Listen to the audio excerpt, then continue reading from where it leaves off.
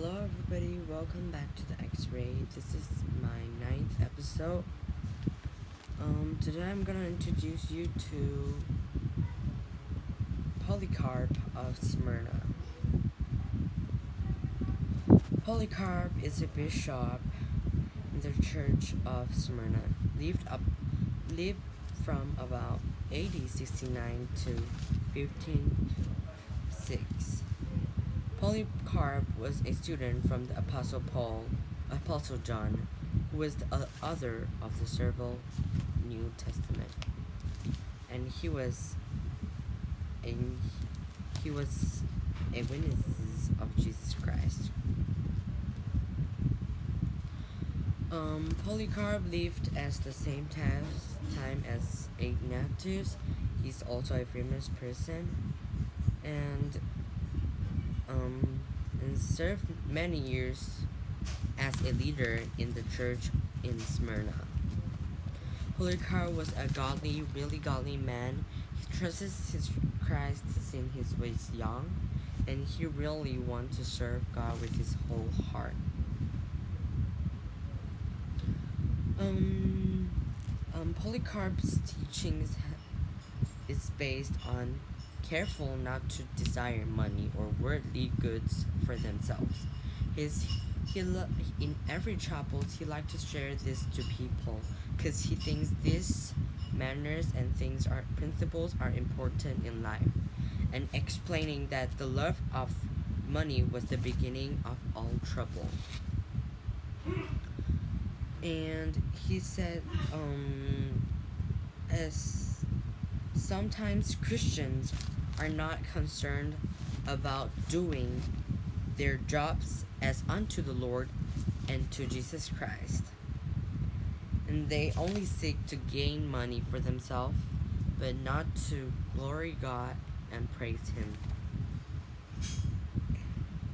And Polycarp also exhorted the Christian to have forgiving heart and mercy, as Jesus Christ have mercy and forgiving heart to us also. And Polycarp's death may have influenced the history of Christianity even more than his writing or his life services at Smyrna. Polycarp has one of the most famous, famous, um, remembered martyrs, martyrs of history. What is martyrs? Martyr means witness, like people who ki- who is killed by their faith to God. And Polycarp was a bishop in the church at Smyrna for many, many years and served faithfully and taught and preached to others. About AD 1506, great persecution came were bitten or killed in this persecution. Um, Polycarp was 86 years when this persecution began. The member of the church did not want Polycarp to be killed, so they tried to help him. They moved him to a small um, small mountain mountain village or I don't know, it's maybe a village, and then they moved him there to, to stay away from the persecution. And the um but the Christian moved him from but the officials is keep catching him, chasing him, so they moved moved him from one place to keep him from being captured.